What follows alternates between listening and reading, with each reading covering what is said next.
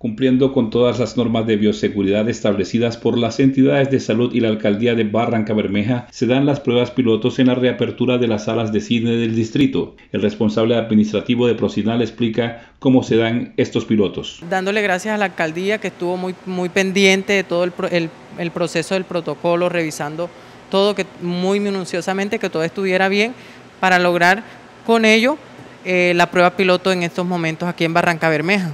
Bueno, el protocolo, primero que todo, distanciamiento, el uso del tapabocas, eh, la desinfección. Se hace especial mención al consumo de alimentos y el distanciamiento en el auditorio. Ya no vamos a poder consumir los alimentos en, todo el espacio del lobby. Ya en este espacio no podemos consumir los alimentos. Llegamos a las cajas, compramos los alimentos, nosotros los vamos a entregar sellados. Cuando el cliente llegue a la sala, eh, esté en su ubicación, ahí sí puede destapar sus alimentos y consumirlos. En este espacio no lo pueden consumir.